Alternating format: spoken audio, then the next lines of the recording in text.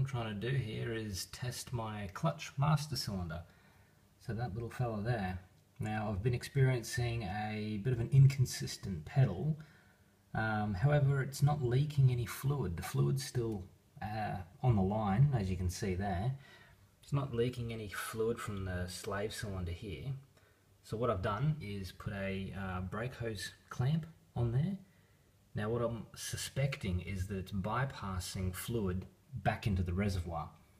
So basically put a clamp on the on the line there, jump back in the car, put your foot on the clutch, and it should be a pretty much a rock hard pedal and you shouldn't be able to move it much if everything's in order.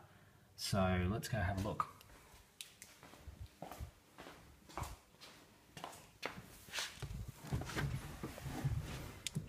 Alright, clutch, here we go.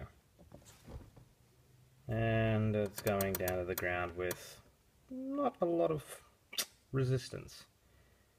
So I think we've got a dead master cylinder. Comes back up.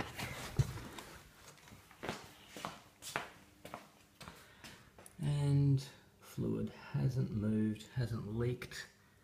There's no visual signs of it leaking anywhere. So uh, it's basically leaking back into itself. Lucky I've already got a new one, so I'll go and replace it.